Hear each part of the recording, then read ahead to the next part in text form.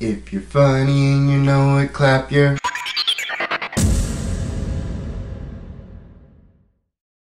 Hello everybody, my name is Larry G and welcome to It's Larry G Yo, the show where I talk about whatever I feel like talking about. And today, we're going to talk about Miley Cyrus, Chris Brown, and Selena Gomez.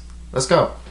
I can't turn on the radio, the TV, the internet this summer without hearing about Miley Cyrus and this damn twerking. That's this is this is a thing, okay? This is a thing that's happening. If you're new to the internet or you've been hiding under a rock for like the past three months, I'm sorry, but Miley Cyrus is back and she's apparently twerking. For those of you who don't know what twerking is, it's basically shaking your butt, okay? Same thing as always, shaking your butt. It just has a new name, it's called twerking. I don't I don't get why people are so freaking out about it. It's it's the same thing it's always been.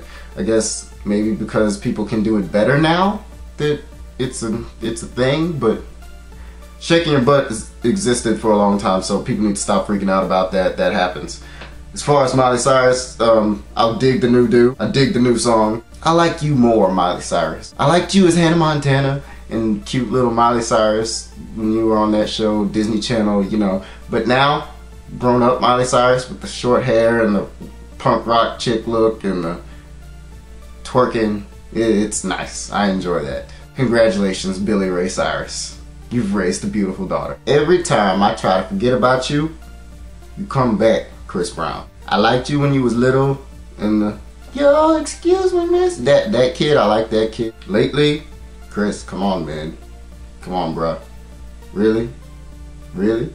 Chris Brown says that he's quitting music for a while, he's taking a break and I completely understand why. Chris, your last couple songs have been crap, right? I consider myself a music connoisseur, a devourer of music, yes. Uh, I, am not digging your last few songs, Chris. I mean, come on, man.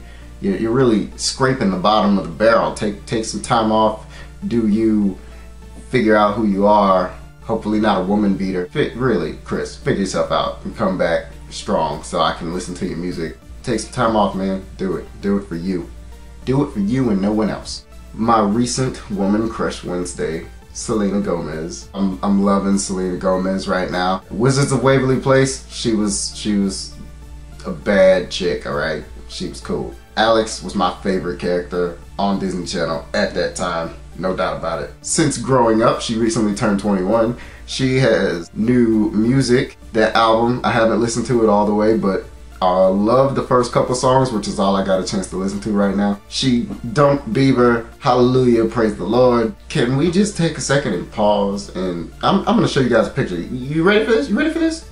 Can we say that she is smoking? All right, yes, yes we can. Selena Gomez, I'm proud of you. You blossoming into a beautiful young woman. Keep making music, keep dancing, making movies like Spring Breakers, doing Selena Gomez thing, Selena Gomez. Yes. Yes. Yes. Well guys, that's all I want to talk about today. Um, I touched on some Miley Cyrus and some twerking and uh, some Chris Brown and his music and uh, Selena Gomez and her life. So if you guys like what I'm doing, leave a comment, leave a like, share, subscribe, favorite, all that jazz. And uh, I'll see you guys next week with another episode of It's Larry G Yo, the show where I talk about whatever I want to. Thanks for watching and uh, believe that. Yeah.